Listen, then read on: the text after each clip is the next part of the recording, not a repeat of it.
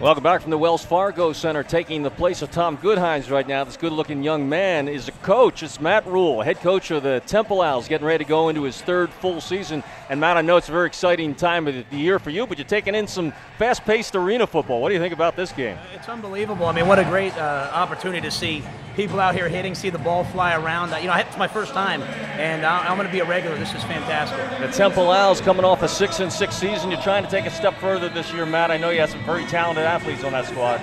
Yeah, we're excited. I mean, we have a great schedule. Penn State, Notre Dame, both coming here, and and we're right, you know looking forward to building on what we did last year. So PJ Walker, our quarterback, returns, and we're excited about the season. Matt, stick with us and watch a little arena Bowl for a couple of minutes here in the opening seconds of the second half here from Philadelphia. The Soul on top of New Orleans. That's Duval on the return, off the netting, finding some room to the right, out near midfield before he's taken down. Hollis, another key tackle, had that interception near the end of the first half. Temple Owls with Media Day on Monday, Matt, and then uh, the, the, camp really begins in earnest on Tuesday. For some folks that don't know, you played, you grew up in the shadow of Beaver Stadium and then played some college ball there for Joe Pa. Yeah, I was blessed to have a chance to go uh, be a player at Penn State, Penn State, so it's exciting for me to have a chance to, you know, go back and play, you know, have them come here and play them again. So.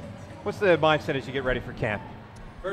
You know, I think it's just to, to build that mindset, build that competitive championship mindset that every team needs. Does it change year to year? I mean, I know, I'm sure depending on the, the level of, of your team, I guess it changes your perception, but does the actual preparation process change much? Yeah, absolutely. I mean, I think you look at each team as a, as a new team and a separate entity. So, you know, last year we had, you know, four seniors. This year we have 27, excuse me, 20 seniors. So, you know, this year, you know, we're going to take a different approach. They're a little bit older and, and try to go from being a six and six team to a championship team.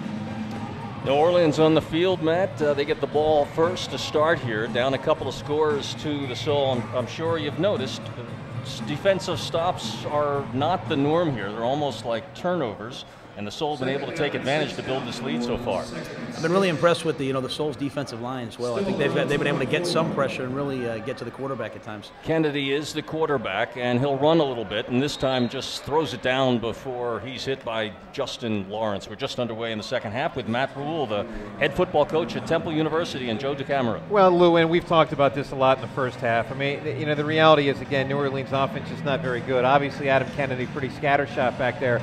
But you know, when you look at that play as it develops, I mean, the New Orleans wide receivers, Matt. I mean, you saw that the, the, the receivers not only aren't open, but there there was very little initiative to try to get open. It's hard to ask a quarterback to function at a high level when, when guys aren't uh, doing you know doing their job and doing it well. No matter what form of football that you're playing. As Kennedy faces third down and long, only 38% on the season. Good defensive play by the Soul. That'll bring up a fourth down and a chance for a defensive stop by the Soul. So, Matt, what's the opening game?